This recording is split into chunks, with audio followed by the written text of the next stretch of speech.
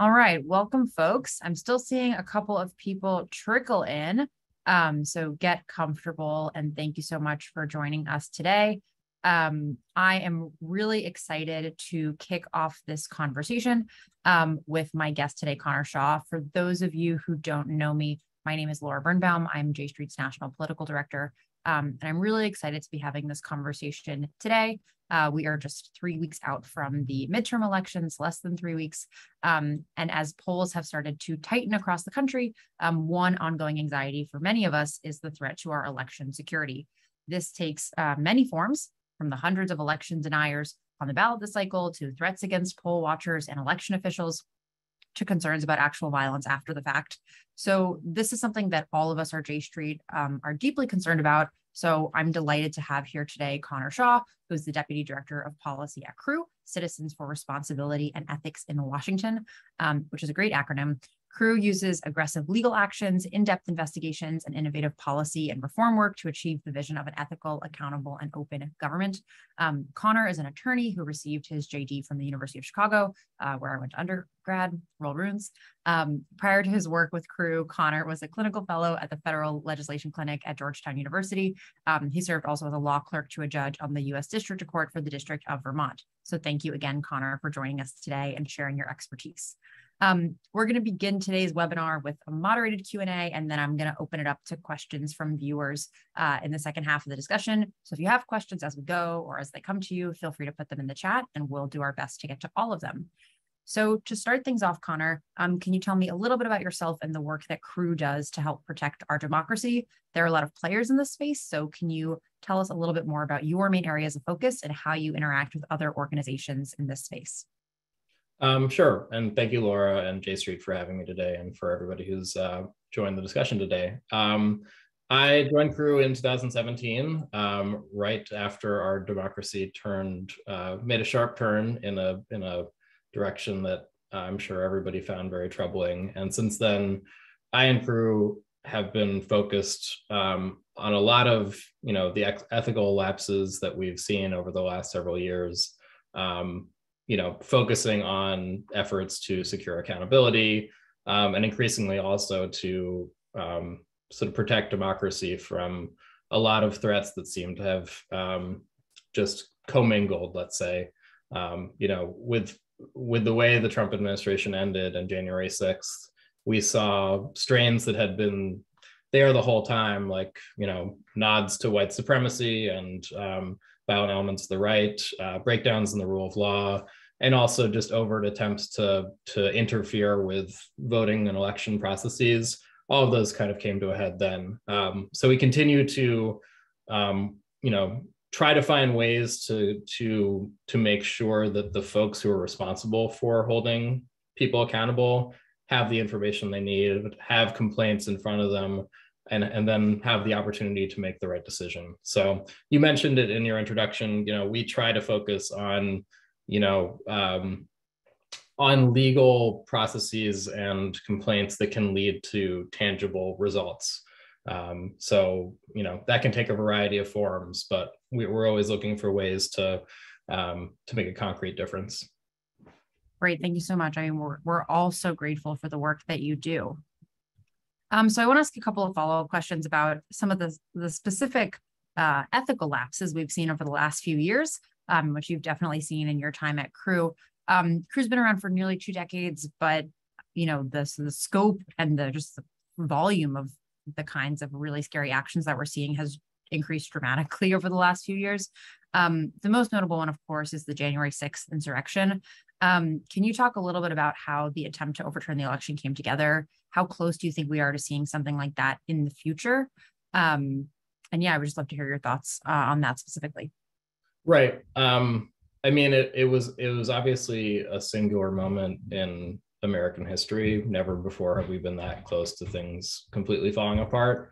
Um, but for anybody paying attention, it wasn't a surprise, right? Um, you know, over the summer before the election, um, you know, folks in the Trump White House were breaking, um, you know, violating the Hatch Act, which uh, prohibits government officials from using their office um, for political ends and doing things like hosting the Republican uh, convention um, on on the White House grounds and things like that. Um, so the you know the breakdown in sort of protections against um, corrupt and unlawful activity had been happening the whole time. Before the election occurred, there was you know a calculated campaign to get people to distrust the results before anybody had even voted. Um, and obviously that picked up um, after the election. Um, and the January 6th committee has done a great job documenting, you know, that the folks who were perpetuating those conspiracy theories and lies knew exactly what they were doing. They were told that they um, that that there was no truth to the allegations of, of, voter fraud in places like Georgia or Pennsylvania or Wisconsin or Michigan. Um, so um, you know all of those threads came to a head on January sixth, um, and we we were fortunate that people in key positions of power, like Vice President Pence, like some senior officials of the Department of Justice, um, decided not to embrace um, this effort to overturn the, the election results. Um, but you could imagine the story playing out very differently if um, they had made a different choice.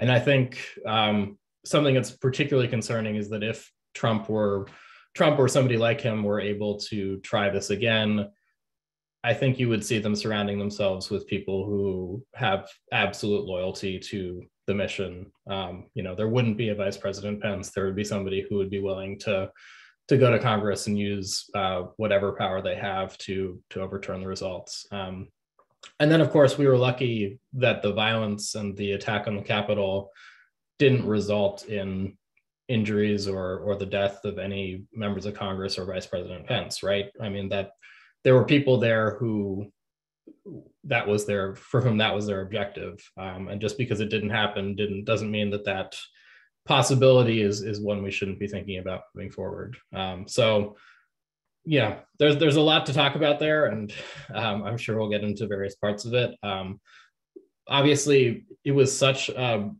especially for those of us who live in the dc area it was it was the sort of event you could you thought would be the thing that um, brought us all together and made us all realize that we needed to turn a corner as a country.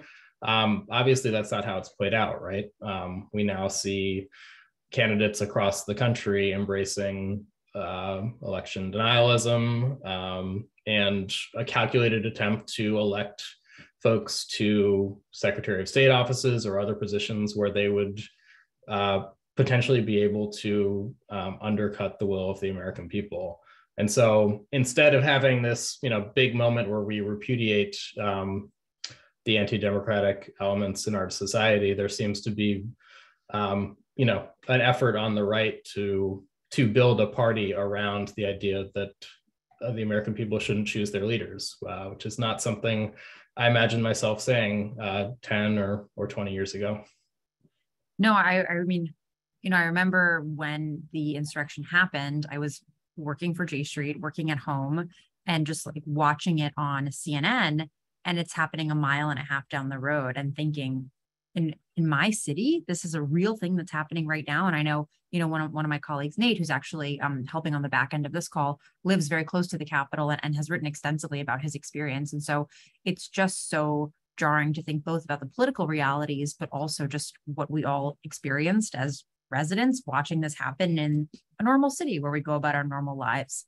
Um, and I think something else, something else that you've alluded to that is extremely concerning is the how easily this could have gone another way if not for just a couple of voices of of, of reason. Um, and again, people that you know you and I don't agree with on really anything, but they just happen to be standing up the right way this time. And I think in the last two years, we really have seen the Republican Party sideline almost all of these voices. Um, you know, these are people who have lost their primary elections or have decided to resign or just being really pushed out of the party. And I'm just thinking of, of one example of how these voices have shifted so much. Um, there's a there's a Michigan congressional district that is currently represented by Peter Meijer um, of of Meijer grocery stores. Um, he voted uh, for he voted for impeachment Um, and he lost his primary election to a man named John Gibbs, who, in addition to being an, election denier, which now appears to be, you know, the litmus test for the Republican Party, has also said, you know, in, in increasingly out there things like that women shouldn't have the right to vote, et cetera, et cetera. Um, J Street endorses the Democratic challenger in this race, Hillary Scholten. Um, but this is just an example of the kind of race where you had what what once could have been, you know, a moderate Republican voice, and these are really just all being pushed out. And so it's so scary to think about um, what could come since there are no more voices of reasons left. And so I'm I'm wondering, Connor, if you can talk a little bit more about, you know, we've all, and I presume everybody on this call has been, you know, watching the hearings quite closely, or at least watching, you know, the recaps the next day. Um, there's been so much damning evidence revealed over the last, you know, few months. Um, where do you hope or think any of this intel will lead? Um, if Congress, you know, changes, if the Republicans take control of Congress uh, after this election, uh, what happens to that committee, and are they still able to do any work that would be helpful for us? Sure, it's a great question. Um, you know, I, if if the balance of power changes in the House, the committee will the committee's work will wrap up, um, and you know they've been conscious of that possibility, and the the the work that they have done over the last year and a bit reflects you know the urgency they knew they had to work with to get um, to the bottom of what happened um, before time ran out. Um, you know, Congress's responsibility here is not, you know, they have the ability to push for accountability, but they don't have the same tools that the Department of Justice has. So, you know, the fact that they will be able to release a detailed report that gathers the the facts that they've been able to uh, uncover is a huge step in the right direction. But now the onus will be on the Justice Department um, to seek indictments of uh, continue to seek indictments um, of folks who are responsible, criminally responsible for what happened. Um, and we now we know that the Department of Justice has not been sort of just waiting for that report to come out, right? Um, there, there are several grand juries that um, are gathering their own evidence. They've asked and have obtained evidence from the January 6th committee.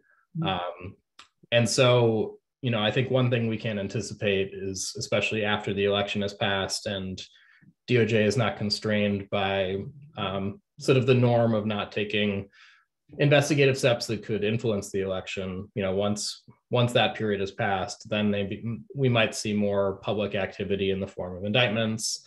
Um, you know, perhaps even up to the level of um, former President Trump. Um, who obviously, you know, he's facing pressure from a, a variety of angles, but, um, you know, regardless of what happens with the Mar-a-Lago records, it's really important that he face accountability accountability for January 6th because, right. You know, um, it's great to go after after the Oath Keepers, the uh, the right wing militias that gathered on that day. Um, it's great to seek accountability for the people who entered the Capitol for whatever reason. Um, but at the end of the day, there was one person at the center of this conspiracy to defraud the American people of the, you know, um, the thing that mattered most, which was the peaceful transfer of power, the results of the 2020 election, um, and Trump and the people who helped him really, really need to be held accountable for that. Um, we can't just pretend that they're buy into a fantasy that they will go away on their own. We need um, DOJ to to deliver on that front. Um, so that those are two answers. The other one I'll point to is that um, a lot of folks have been talking about the um, 14th Amendment. Um, Section 3 um, hadn't re- received a lot of attention before the, the events the last uh, couple of years. Um, but that precludes anybody from holding office if having previously sworn an oath to the Constitution they engage in an act of insurrection. Um, and so one of the things that Crew has done is tried to um, actually enforce that provision. Um, and over the summer, we had um, a victory in a state court in New Mexico, um, which enforced that provision for the first time in 100 years. Um, so the question now is, can we get more courts and perhaps even legislatures like uh, the House of the Senate um, to think about whether um, there are individuals who are barred from holding office um, because of their role in the January 6th insurrection. Um, and so, you know, we and others will be looking for ways to um, to encourage folks to do that because it's not, you know, that this wasn't um, this wasn't just a random collection of folks who happened to stumble into the Capitol. Um, it was the culmination of, of a very serious and wide-ranging effort to, to try to overthrow um, the elected government. Um, and that's, uh, there have to be consequences for that. That's what this provision is there for. It was there created after the Civil War, which is the last time we faced, uh, mm-hmm. you know, a threat to our democracy of, of this scale um, and significance. So, um, yeah, that's I think that's the other important avenue that people should be talking about and focusing on. Mm-hmm. Yeah, um, I was just about to ask you about that um, that decision, which is you know very exciting. So I'm sure you know congratulations. I'm sure it was an unbelievable amount of effort and coordination. Um, but it is a you know a, a, dare I use the the word exciting legal precedent. Um, and I know you said that you're going to be looking into, um, you know, other state legislatures and other areas where you know, we might be able to use this section to hold people accountable who participated in the insurrection and bar them from holding office. Um, there are people who participated in the insurrection who are running for Congress right now. And I'm wondering if you can just share a little bit more about this, um, about this effort and what some of the barriers are to getting um, this section of the 14th Amendment enforced. Sure. Um, so a big question is going to, especially for folks in Congress, um, you know, there are a few people on the ballot who are not currently representatives um, who were at the Capitol on January 6th. Um, and they're kind of, they occupy a unique space because they're more similar to the defendant in the um, the New Mexico case, Couy Griffin. Uh, they, you know, they were active participants in the in the mob um, that proceeded towards the Capitol, and some of them may have actually breached the um, sort of police lines there. Um, and so those cases are more similar to, um, you know, they're similar to the um, the precedent that we've established, and I think um, they might be really strong candidates for exclusion under the 14th uh, Section Three of the 14th Amendment. Um, we're interested in in talking about other ways that folks participated in the insurrection on January 6th. Um, the January 6th committee has detailed um, the participation of, I believe, 10 um, representatives um, in meetings at the White House in December of 2020, where, you know, which was around the time where they decided to focus on co- Congress's certification of the election um, and Vice President Pence's role in that process as being sort of um, the the day and event that they should apply pressure to and that's around the time that they started to announce um, that there would be a rally on January 6th at the Ellipse. Um, and it was around the same time that folks in the violent um, extremist uh, circles started to get excited about actually showing up that day. Um, so I think it's, you know, I think it's fair to question whether those members are barred um, from service by um, by Section Three of the Fourteenth Amendment.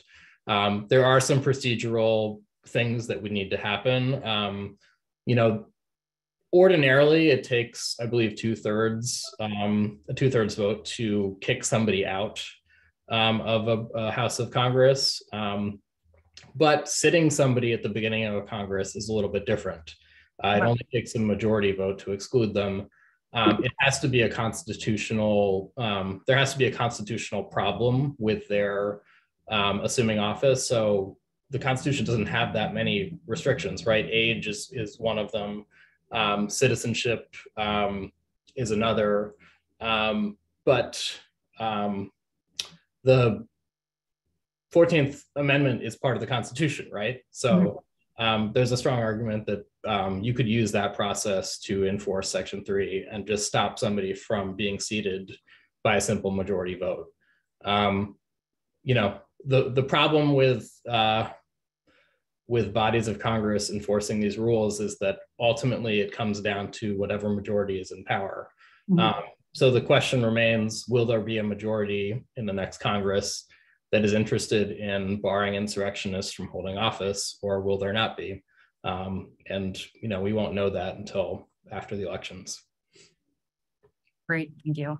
Um, we have a couple of questions lining up already, so I'm just going to ask one more before I open it up. But if you do have a question for Connor, please feel free to put it in the Q and A. Um, so J Street's political work this cycle is focused on electing pro-peace, pro-democracy champions to Congress. We've endorsed 175 House and Senate candidates who will do just that. Um, what else, as individual citizens and as allied advocacy groups, can we do to protect democracy? Not all of us are lawyers. Um, so, what else can we do to be good partners in this fight and do everything that we can for this most important question?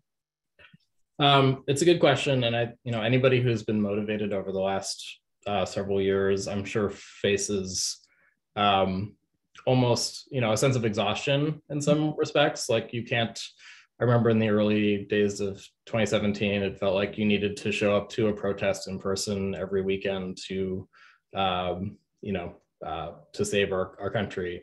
Mm-hmm. Um, I think it's important, first of all, just to to maintain hope. Um, you know, you have to to to to uh, to believe that these fights are worth fighting. You have to have hope for our country, and I, I do. Um, you also have to be willing to, you know, not not get overwhelmed by the day-to-day sort of big picture fights that you can't really impact mm-hmm. um, and try to look for things closer to home that you can um, you know and I, I, think there's been a growing realization that the problems that we face um, like in congress or at the federal level um, you know some of their roots are in, in, problems that we have yet to address in the local level you know. Mm-hmm you can support efforts to get money out of politics um, in local elections, and that will have an influence eventually on the federal level because the people who are rising up through the ranks are are going to start out, um, you know, running for your local council or for mayor or things like that. Um, and the protections against corruption at that level are are even fewer and far between often than they are at the federal level. Um, so, you know, I'd encourage people to look for you know, it's great to support national efforts to um, save our democracy. Um, but if those feel overwhelming, you can always um, turn your eyes closer to home. I, I, will say, especially judicial elections in um, localities, you know, the federal level, we've appointed judges and that provides some degree of independence, but the local level, um, it, yeah, some degree. Um, at the local level, um, often judges are elected, and that can be an important opportunity to, um, you know, to make sure that folks seeking those offices um, believe in the rule of law and accountability and things like that. Yeah, that's very helpful. Um, and I appreciate the note about hope, which is an important part to, to hang on to. It's, it's a long fight. Um, so I'm going to open it up for our audience Q&A right now. So if you have a question, feel free to put it in the chat.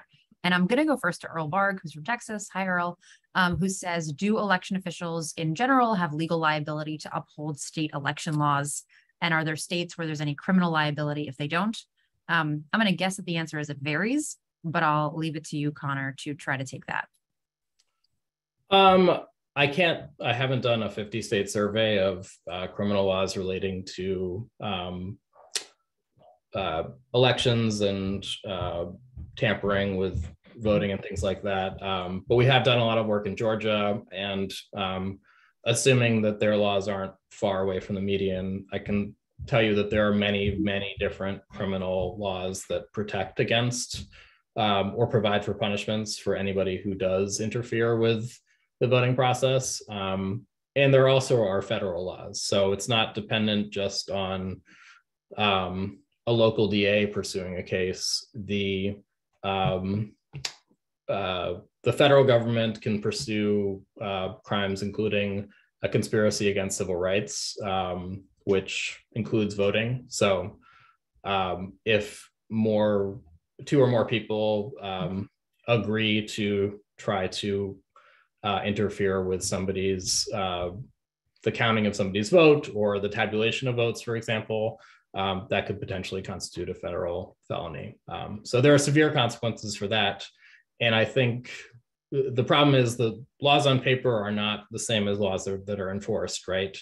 And one of the reasons why it's so important for state authorities and federal authorities to seek justice for January 6th is that, you know, um, the deterrent effect of criminal law comes through it being enforced and people seeing like, look, these these folks who tried to tamper with the election um, are, are getting convicted. They're going to prison.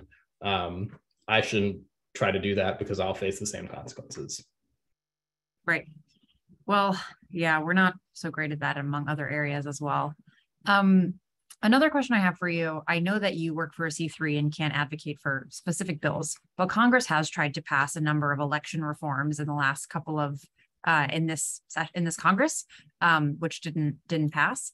Um, are there specific policies that you think could be passed at the federal level outside of specific a specific bill um, that you think would be really helpful in trying to help, you know, restore ethics and accountability? Sure, and I our restrictions aren't aren't that um, we're not, I'm not that restricted. Okay.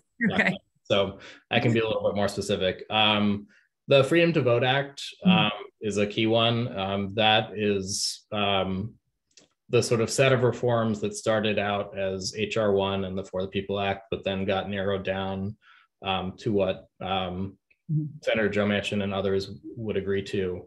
Mm-hmm. Um, that still includes a significant number of important um, voting rights protections, including reauthorization of the Voting Rights Act, um, which is a uh, you know was struck down by the Supreme Court, parts of it, um, and that is a critical tool for um, ensuring that changes to voting laws in places with um, a history of uh, tampering with voting rights um, go through a pre-clearance process. Um, that's one of them. But also in there are national standards for um, things like early voting, voter registration, um, that would be really a, a, huge step forward in just providing certainty and regularity to a process that right now seems to change every year, depending on what state you're in. Um, CREW has also come out in support of things like um, DC statehood, um, which um, you know one of the one of the big problems we have at the federal level is just that our our political system is increasingly um, not majoritarian, right? It doesn't reflect what people want to see um, in their. It, doesn't reflect the the actual um, preferences of the American people. So um, DC statehood, statehood is an imperfect way of getting there, but it's a step in the right direction, and it also helps enfranchise a significant number of folks. Um, so that's something um, that's that also should be part of the conversation. Um, it's not exactly voting rights, but um, the Protecting Our Democracy Act, which is a series of um, series of efforts to sort of turn norms or um, institutional failures that we've noticed over the last um, several years to, to address those and, and, and turn them into sort of like enforceable laws, um, provide more checks and balances against um, a president like Trump who really pushes the bounds of what of what laws will allow. Um, th- that's another crucial piece of legislation that we we support and hope to advance um, whenever there's a chance to. Great, thank you. Um, so here's another question that is a little bit more about this upcoming election. We've laid out some of the, you know, what I'll say like like trouble spots where there are genuine issues with election security. We've talked about uh, threats to election workers. We've talked about election deniers on the ballot. All of these items. When you look at the midterm elections, what are you mostly paying attention to? What are you and CREW worried about, and what are you focusing on? What should we be paying attention to um, at this election point? Um, this is where I am more restricted. I can't advocate for candidates, but you know, um, it does matter ultimately. The, the more election deniers who get elected, the more mm-hmm. people who are uninterested in enforcing the rule of law who get elected, the harder our, our challenge will be. Um, so we, you know, we certainly the the balance of power that results from the election will certainly influence what possibilities there are for um, legislative reforms in Congress. Um, it will make clear, you know, how many states are at risk of mm-hmm. um, uh, of having 2020 like problems with election mm-hmm. certification, or how many people will be elected to and, and holding positions of authority to potentially manipulate with results. So, um, you know, it's sort of uh, it's it's setting the stage for for what could be the next big fight about the future of our democracy, and um, we certainly, you know, we're certainly interested in, in figuring out what that landscape will look like. Um, but um, but yeah, the fight for you know the fight for accountability involves Congress, but that's not the only thing. And I think um, folks should be encouraged by what the Department of Justice has been up to. Mm-hmm. Um, and you know, those folks are not elected; they will continue to hold their jobs at least for the next two years, and that's uh, an important window to work with, no matter what the results of the midterms are. Right. Well, that's really helpful. Um, I'm going to take a minute here to plug J Street's uh, upcoming conference, which is in DC and online, December 3rd through 6th, where we're going to be talking about questions like these and more. Um, our conference, uh, and there's there's an image on the screen. Thank you. Um, our conference uh, theme this cycle, as you can see, is a living our values, defending democracy. Uh, it's coming right after key elections in both Israel, um, which we haven't talked about very much on this call, but is also facing a number of, of anti-democratic um, and, and some really scary election trends as well. So it's going to come right after key elections in Israel and the US. Um, Jamie Raskin is going to be uh, speaking at opening night about some of his experiences um, with this kind of work in Congress. Um, and we're going to have a lot of exciting voices from both Israel and American politics. So if you are interested in joining us for these conversations, um, you can register at jstreet.org slash conference. Um, and I hope to see you there. Again, that's in DC um, it's also online if you can't make the trip, but we would love to see you here. Um, so Connor, I want to thank you so much. We've covered so much ground today at all different levels of government and all different, you know, circumstances. Um, I'll do one final call for any questions that folks have, um, but I don't see any right now. So with that, I'll actually just turn it back to you and see if there's anything else that you want to leave us with, either about your work, uh, your personal opinions, um, or anything else we should be thinking about or doing going forward? Um, sure. I'll just say that um, you know we haven't we haven't talked a lot about the Mar-a-Lago mm-hmm. records um, side of things, um, and you know there are a couple there are a few different things to say about it. One is that you know it is um, I think it demonstrates that Trump in particular is going to keep on breaking laws, no matter how severe or um, you know how reckless it, it looks until he's held accountable. Um, and you know, it's almost it's just astounding that somebody with you know a, an, an amazing array of tools at their disposal would put themselves in such clear jeopardy. Mm-hmm. Um, and it's been encouraging to see how quickly the Department of Justice has moved on that. Um, but I think the lesson we have to learn from it is just that um, you know accountability is not going to have its own, happen on its own. It has to be actually enforced and um, and, and delivered. So um, you know I think uh, it, it's yeah it's been great to see how how quickly they've they've jumped on that um, and because they have to. Um, but yeah, we've we've been tracking we have a tracker on our website of uh, that just tallies the credible allegations of of crimes uh, against Trump, and I think we're up to 55 now, uh, and that number seems to grow uh, every day. Um, there was just a decision in mm. In a California district court about John Eastman's emails. Um, mm. He is one of the lawyers at the center of those sort of legal efforts to undermine the 2020 election. Uh, and the judge there decided that the January 6th committee could have more of his emails, have access to them um, because they were in furtherance of um, a crime. Um, and he also noted that um, the emails showed that Trump had personally mm-hmm. misrepresented facts to a federal court in Georgia um, in one of the cases that he and his campaign brought to um, uh, to cast doubt on the results of the election, which is in and of itself probably another crime, perjury or a false declaration to a court. Um, so, you know, we're we just we're getting to the point where um, the, the need for accountability is just so obvious and so strong Um, and I am hopeful that we are finally, after years and years of this, on the cusp of, of, of getting what we need.